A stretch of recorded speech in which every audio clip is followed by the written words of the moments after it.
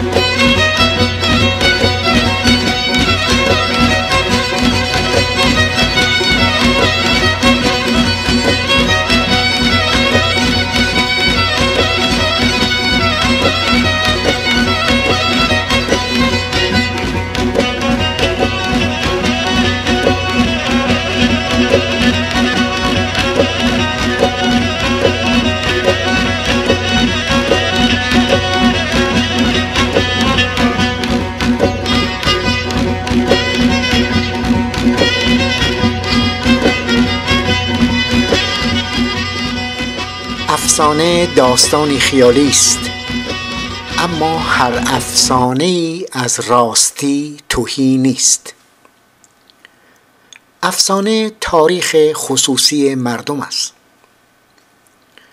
آدمی زمانی که تفکر فلسفی نداشت آرزوها و آرمان خیش را در قالب قصه و افسانه میریخت همکنون نیز چنین است. برای مثال کارتون های ساخت والدیسنی اغلب بر اساس افسانه های کودکان ساخته شدند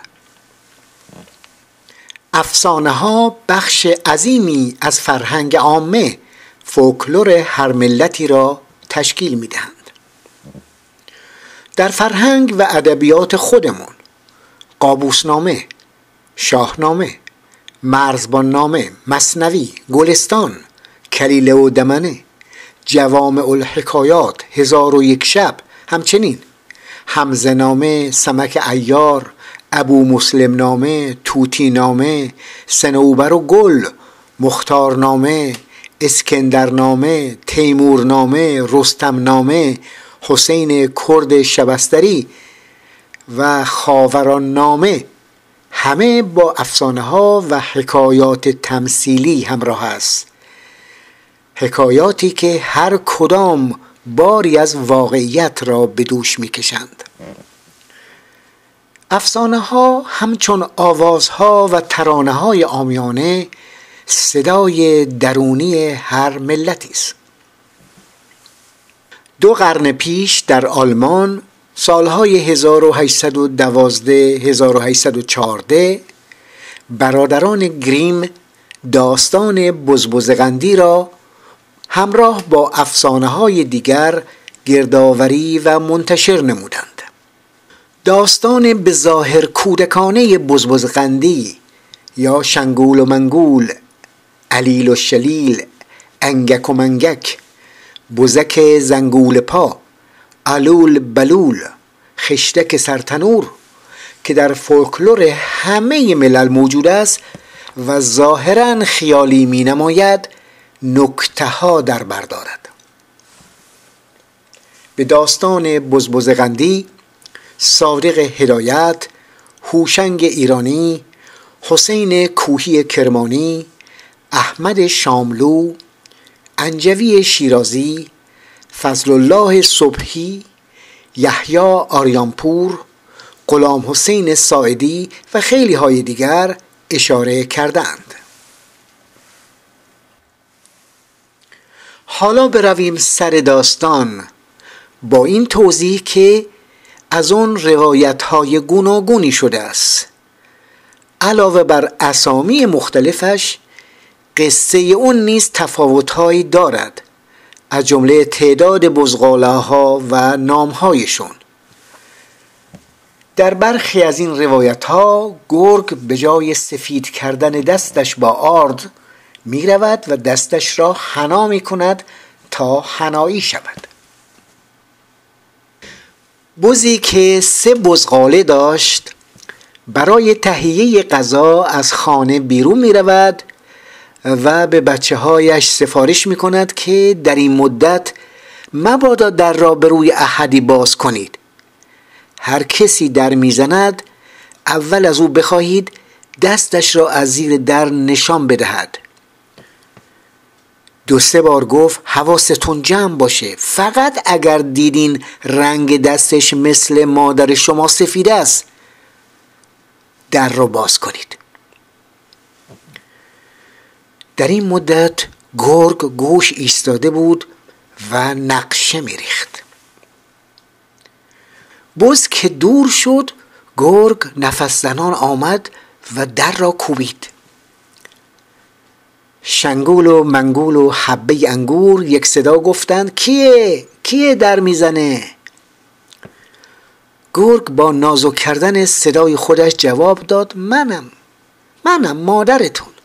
در وا کنین براتون غذا آوردم. بزغاله ها از او خواستن اول دستشو نشون بده. با دیدن دست سیاه گرگ محل نگذاشتند و در رو باز نکردند گرگ بودو بودو رفت و دستشو با آرد سفید کرد و برگشت. برگشت و دوباره در و زد. تق بزغاله های ساده و بیخبر وقتی دیدن دست او سفید رنگ است به خیال اینکه مادرشون اومده و براشون غذا آورده در و باز کردند تا در باز شد گرگ معطل نکرد و شنگول و منگول را که دم دست بود با خود برد. اما حبه انگور جنبید و در گوشه از خونه قایم شد. بز که برگشت حبه انگور گریه کنان آمد و ماجرا را تعریف کرد. غم عالم مادر را گرفت. بز خشمگین با خودش خیلی کلنجار رفت و بعد از کش و قوس بسیار فهمید قصه خوردن و گریه کردن دردی را دوا نمی کند. کلافه شده بود. با خودش گفت باید به جنگ گرگ بروم. پدر گرگه رو در میارم. اومد رفت بالای پشت بوم خونه گرگ دید گرگه آش بار کرده با سم پاش خاک تو آش گرگه پاچید. گرگه دار زد این کیه تاپ و تاپ می‌کنه؟ آش منو پر خاک می‌کنه. بوزه جواب داد منم منم. بزک زنگول پا ور میجم دو پا دو پا. دو سم دارم روی زمین دو شاخ دارم رو به هوا. کی برده شنگول من؟ کی برده منگول من؟ کی میاد به جنگ من؟ گرگه که عصبانی شده بود گفت من بردم شنگول تو من بردم منگول تو من میام به جنگ تو. بوزه رفت یک کشکول پر کرد از شیر و سرشیر و ماست و کره و برد پیش چاق و تیز کن. سلام کرد و گفت اوسا لطفا شاخهای منو تا می‌تونید تیز کن. و بعد قصه خودشو تعریف کرد. گرگه هم که بدجنسی از سر و پاش میبارید رفت یک انبانه پوست دباغی شده رو ورداشت داخل اون یه نخود گذاشت و توی انبانه فوت کرد و فوت کرد تا از باد پر شد. بعد یواش به دندون گرفت و برد پیش دلاک و بعد از چاق سلامتی های ریایی به او گفت آقا دلاک اینو بگیر و به جاش دندونای منو تیز کن. دلاکه تا در انبانه را وا کرد و بادش در رفت نخوده پرید و یه چشمش کور کرد. دلاک به روی خودش نیاورد. پیش خودش گفت بلایی به سرت بیارم که توی داستانا بنویسم. گازنبو را ورداشت همه دندونای گرگه رو از ته بیرون کشید و جاش دندونای چوبی گذاشت. روز موعود رسید و بز و گرگ هر دو برای دوئل آماده شدند.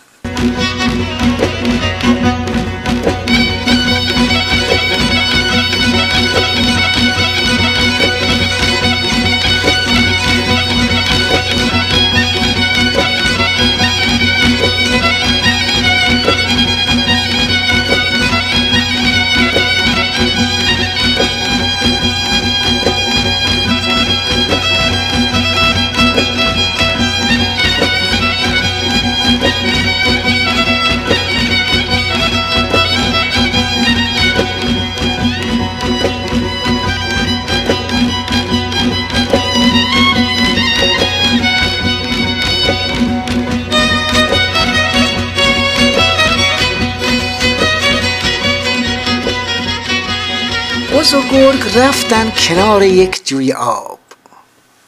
بزه گفت بیا اول آب بخوریم. بعد خودش پوزش و علکی توی آب فرو کرد اما نخورد. گرگه در عوض تا می‌تونست آب خورد و شکمش باد کرد. بزه گفت حالا من برای جنگ حاضرم. رفت عقب و اومد جلو شاخشو محکم کوبید به شکم گرگه. همین که گرگه خواست پشت بزه رو گاز بگیره تمام دندوناش که چوبی بود ریخت. بوزه به طرف گرگ یه خیز دیگه برداشت و شکمش رو جر داد. بعد شنگول و منگول را از شکم او بیرون کشید و برد خونه پیش حبه انگور. مضمون این داستان وراتر از برنگ بره در آمدن گرگ سرشاخ شدن بز با وی و رهایی بره هاست البته باید دندان گرگان را کشید و بره ها را نجات داد. اما این همه داستان نیست. زیستن هر چند کوتاه مدت در شکم گرگان می‌تواند بخشی از سلول ها و آنزیم های شکم آنان را به بره ها بخوراند و در سیستم و کارکرد آنان تغییراتی ایجاد کند. ظاهرا بره ها رها شده و از شکم گرگ رستند اما سایه گرگ در تمام حرکات و سکناتشون پیداست. بعد از خلاص شدن تازه نوبت گند زدایی است وگرنه عملکرد گرگی از رفتار و کردار قربانی. حتی وقتی دیگر در شکم گرگ نیست دل نمی کند و دست بر نمی دارد نویسنده مشهور قرقیز چنگیز ایتاماتوف در زمان روزی به درازی یک قرن از کسانی صحبت می کند که آنان را مانقورت می نامد که با هویت خود بیگانه و علیه می شوند به طوری که حتی پدر و مادر خودشون را هم غریبه و دشمن میپندارند و قصد کشتن اونها را می‌کنند. در رمان مزبور دشمنان یا به تعبیر داستان بزبز قندی ما گرگان پنج فرو کرده در آرد سوار بر اعتماد مردم شده و افرادی را با فریب و با تبلیغات به سوی خود کشانده و در حالی که دائما دم از آزادی می‌زنند آنان را به دام خیش می‌کشند و به بردگی خودخواسته وامی دارند کمی بعد قربانیان یا بهتر بگویم مریدان خیش را به بیغوله ها برده. سرهایشون را از تم می تراشند و بر سر تراشیده اونها پوست گردن شطور تازه زب شده کشیده سفت و سخت میبندند تا موهای سر آنان وارونه روش کرده بر پوست سرشون فرو رود.